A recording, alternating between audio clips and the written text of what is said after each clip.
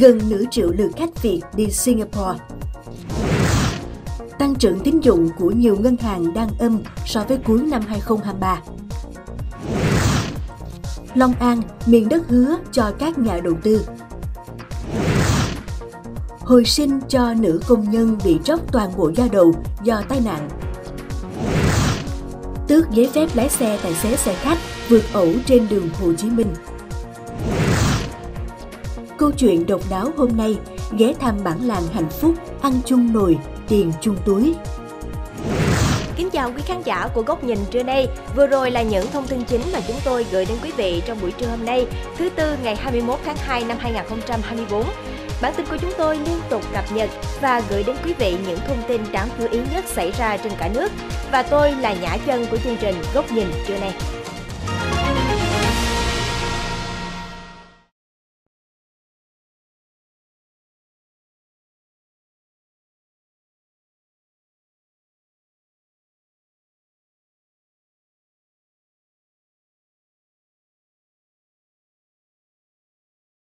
Mở đầu chương trình hôm nay, mời quý vị đến với những thông tin kinh tế. Với 13,6 triệu lượt khách quốc tế đón được trong năm 2023, du lịch Singapore phục hồi khoảng 71% so với trước đại dịch. Doanh thu du lịch ước tính từ 24,5 đến 26 tỷ SGD. Tổng cục Du lịch Singapore STP cho biết sự phục hồi đầy ấn tượng của ngành du lịch Singapore trong năm 2023.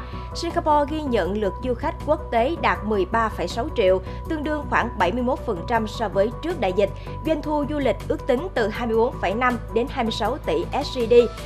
Mức này vượt xa dự báo trước đó của STB là từ 18 tỷ đến 21 tỷ SGD, bằng khoảng 88% đến 94% doanh thu du lịch của Singapore trong năm 2019. Theo cơ quan này, các thị trường trọng điểm đều có sự gia tăng đáng kể, trong đó dẫn đầu là Indonesia 2,3 triệu lượt, Trung Quốc 1,4 triệu lượt và Malaysia 1,1 triệu lượt. Việt Nam đóng góp gần 459.000 lượt khách du lịch cho đảo quốc này và cũng là một trong 10 thị trường khách du lịch hàng đầu của Singapore. Xu hướng đầy khởi sắc này được thúc đẩy bởi sự tăng trưởng mạnh mẽ của ngành khách sạn và du thuyền, cũng như việc bổ sung thêm nhiều trải nghiệm và điểm tham quan mới, cộng hưởng với sự phát triển của phân khúc du lịch MICE, từ đó góp phần tiếp đà phục hồi cho năm 2024. Ngân hàng Nhà nước định hướng tín dụng toàn hệ thống năm 2024 tăng khoảng 15%, nhưng sắp hết quý 1, tín dụng nhiều ngân hàng đang âm so với cuối năm 2023. Phát biểu tại hội nghị, bà Hà Thu Giang, vụ trưởng vụ tín dụng các ngành kinh tế cho biết, tính đến cuối năm 2023, tín dụng toàn nền kinh tế tăng 13,71% so với cuối năm 2022. Tuy nhiên, bước sang tháng 1 năm 2024, tín dụng toàn hệ thống giảm 0,6% so với cuối năm 2023.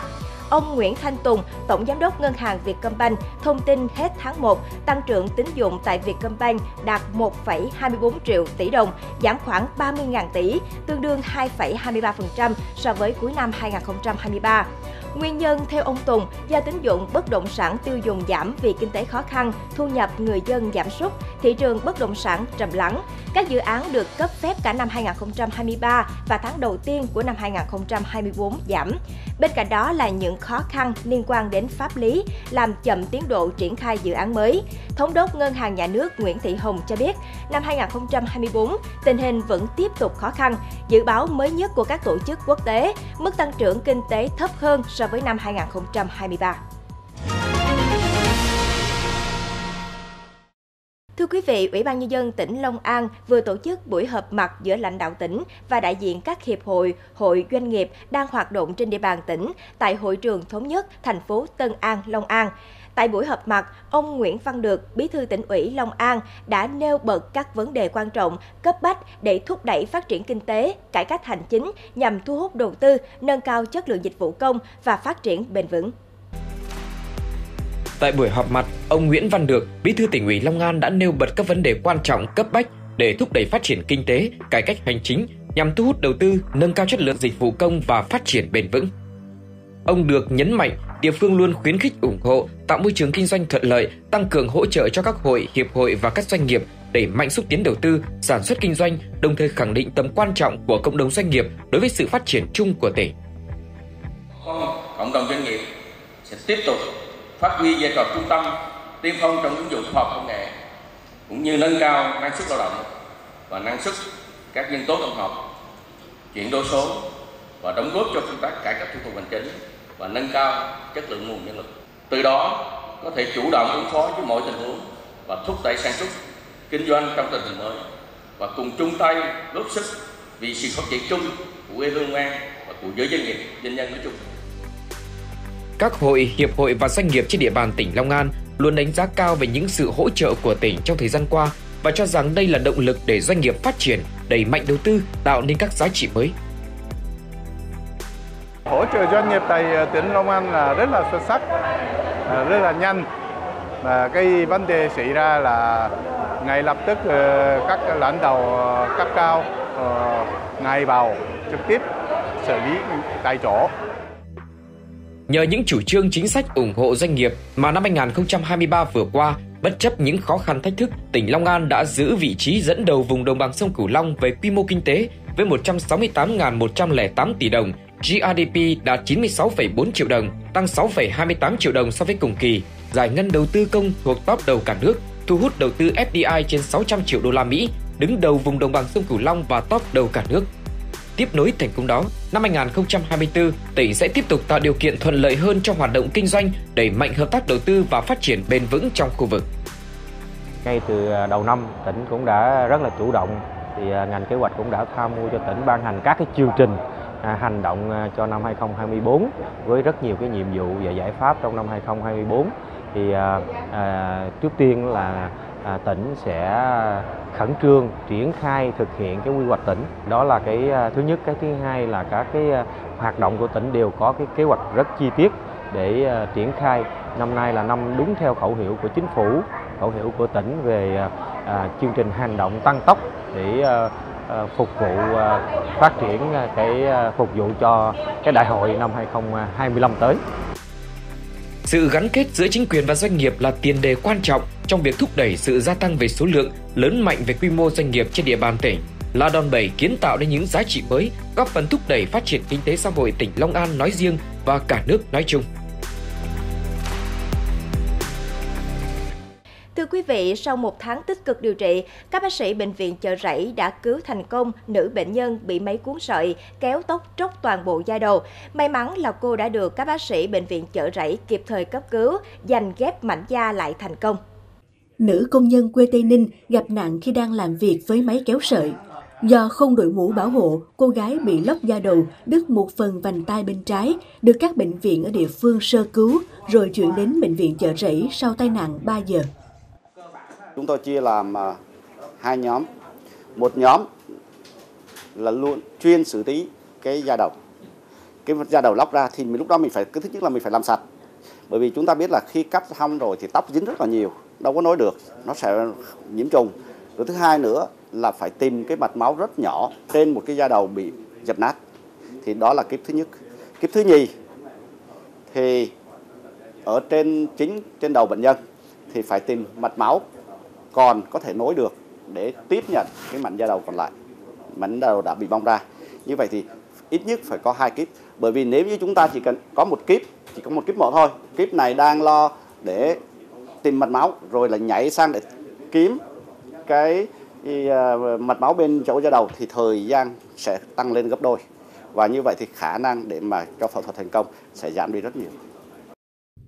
Hai ekip phối hợp phẫu thuật trong 4,5 giờ ghép thành công da đầu, nối vành tai lại cho bệnh nhân dưới sự hỗ trợ của hệ thống kính hiển vi. Theo các bác sĩ, ca này phẫu thuật thành công nhờ mảnh da được sơ cứu bảo quản ban đầu đúng cách. Người dân nên biết cách là bảo tồn cái mô đất rời.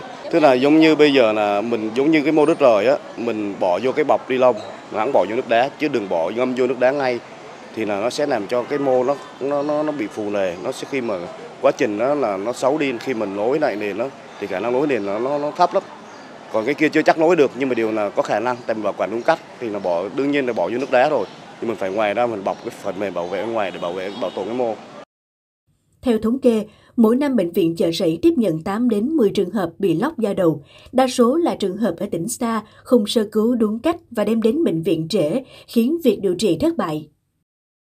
Xin chuyển sang thông tin khác. Thưa quý vị, những ngày này, nhiều du khách đã đổ xô về bãi rạng dọc biển Nam Ô, phường Hòa Hiệp Nam, quận Liên Chiểu, thành phố Đà Nẵng để chiêm ngưỡng những bãi rêu bám trên ghềnh đá xanh rì rất đẹp. Càng về trưa, khi mây mù bị xua tan bởi ánh nắng thì bãi rêu hiện ra càng đẹp, với màu xanh như tấm thảm trải trên các bãi đá. Người dân địa phương cho hay vào thời điểm đầu xuân sau Tết là lúc rêu bám xanh trên các ghềnh đá ở bãi rạng Nam Ô. Mùa rêu ở đây mọc rộ trong vòng hơn nửa tháng, rồi bắt đầu tàn lụi. Đẹp nhất là lúc bình minh hoặc hoàng hôn là thời điểm thủy triều rút, lộ ra những tảng đá rêu phủ xanh thẳm. Nhìn từ trên cao, rêu mọc tự nhiên trên các tảng đá, nằm nửa chìm nửa nổi trên mặt nước biển. Bọt sóng biển xô vào các ghềnh đá trông rất đẹp, kỳ vĩ. Ở khu vực bãi tràng Nam Ô, nhờ bãi rêu xanh này mà kéo theo những dịch vụ ăn theo của người dân địa phương như giữ xe, bán nước giải khát, cà phê, ăn uống phục vụ du khách khi đến đây check-in du xuân.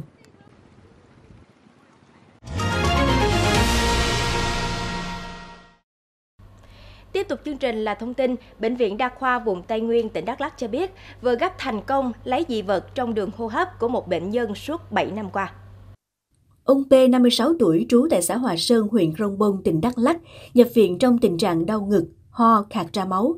Bệnh nhân cho biết cách đây 7 năm, ông có ăn canh cá ngừ thì bị sặc và có cảm giác như bị hóc xương.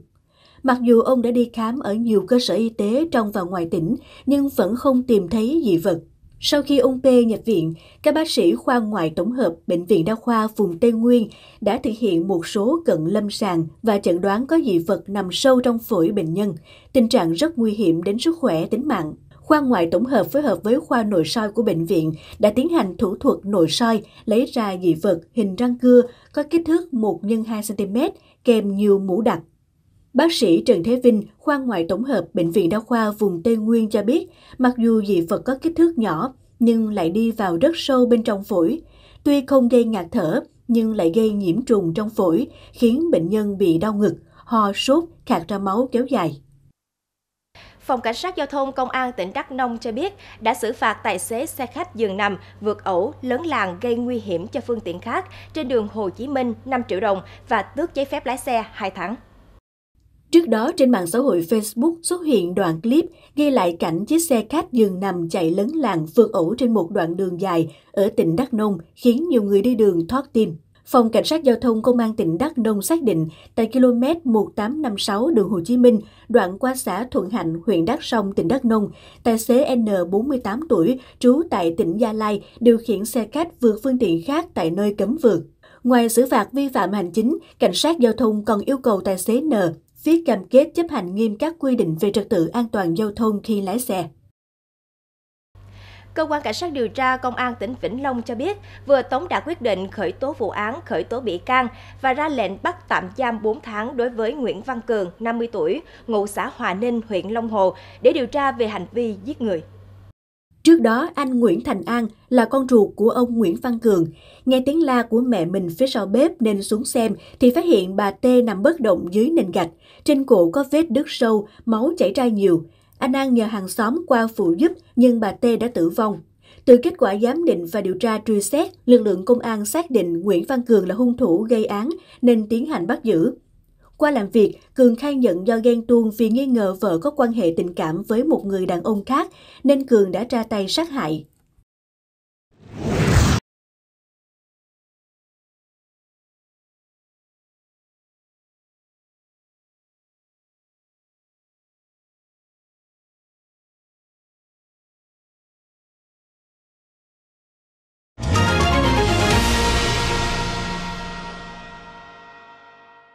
Thưa quý vị, dưới những tán cây xanh mát, 30 nếp nhà sàn một mặt hiện lên trong làng sương sớm.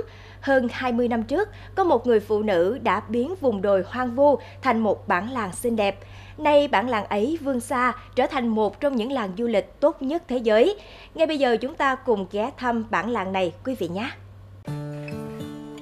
Rảo bước trên con đường thơ mộng giữa hàng cây xanh mát, chị Lê Thị Nga, phó làng Thái Hải, dừng lại trước chiếc mỏ làng có tuổi đời bằng chính tuổi làng, tự tay gõ chiếc mỏ, vang vọng khắp núi rừng. Phó làng Thái Hải dẫn khách vàng khách bạc đến chơi với bà con dân bản.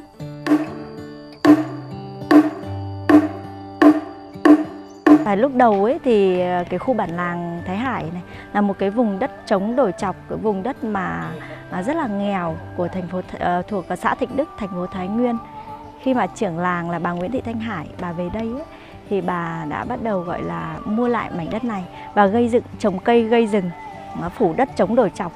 Sau đó thì những ngôi nhà sàn truyền thống có tuổi đời à, 60 đến 70 năm, bà cũng đã mua từ ở vùng ATK Định Hóa và bà chuyển về à, bản làng Thái Hải tại à, xã Thịnh Đức này để bảo tồn văn hóa của mình không bị mai một.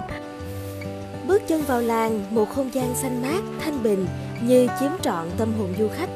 Từ những người Tây đầu tiên về bản, đến nay bản đã có gần 200 nhân khẩu với bốn dân tộc cùng sinh sống. Dưới bậc thang nhà sàn, bốn năm đứa trẻ đang túm tụm lại xem bà Lê Thị Hảo, 65 tuổi, dạy đang giỏ tre. Vốn là giáo viên dạy cấp 2 tại trường Gan thép thành phố Thái Nguyên.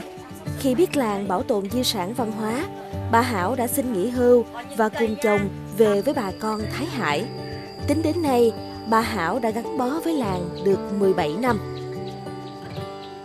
Nếu nói về đan lát này, bà bà cũng không phải là người biết đan lát từ trước đâu, bà là người kinh mà. Thế nhưng mà khi về với bà con đồng bào tài yêu di sản văn hóa thì bà học bà học cái đan lát của các à, của các ke già trong bản ấy đã dạy hướng dẫn bà. Thế và khi thấy con cháu cũng muốn học đan thì bà biết để đến đâu thì bà giúp con cháu đến đó để ờ, cùng học cùng uh, giúp các con để các con cũng biết được những cái văn hóa như thế này thôi Bản làng hạnh phúc đâu chỉ giữ lại các ngôi nhà truyền thống của dân tộc Tày các nét văn hóa truyền thống của đồng bào được bà con ở làng gìn giữ nguyên vẹn. Từ nghề làm chè xanh của người Thái Nguyên, hát then đàn tính khi khách đến nhà cho tới bếp lửa ấm áp trên nhà sàn. Về với Thái Hải, du khách như được trở về chính ngôi nhà của mình bởi tấm lòng nồng hậu của con người nơi đây. Thế hệ đi trước, viện trưởng làng hoặc là các bà mế là những người đã có công gọi là gây dựng và thành lập ra bản làng thì uh, những thế hệ trẻ như mình thì là người mà đầu tiên là mình phải à, có tình yêu với văn hóa di sản của dân tộc của mình đã. Và thứ hai, lúc nào cũng phải trau dồi những cái kiến thức đó, những cái văn hóa đó để à, làm sao mà à, mình sinh sống hàng ngày, để làm sao mà mình có được lại những cái văn hóa, có với cái tình yêu văn hóa tài như vậy để lan tỏa đến du khách và tất cả mọi người khi đến với bản làng Thái Hải thì uh, thế hệ sau là lúc nào cũng mong muốn rằng là mình thế là những mỗi người đều là một cái sứ giả du lịch để uh, lan tỏa được cái văn hóa của mình đến với mọi người. Nhưng nhịp sống ở đây vẫn không hề đổi thay những nếp nhà sàn vẫn được gìn giữ nguyên vẹn. Hoạt động thực hành văn hóa tâm linh được người làng gìn giữ. Những người trẻ như chị Nga, chị Linh lại tiếp nối các bà mế, bảo tồn văn hóa của dân tộc mình cho đời sau.